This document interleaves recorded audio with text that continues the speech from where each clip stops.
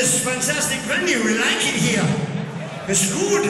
Okay, this one is a song we haven't played for many, many years.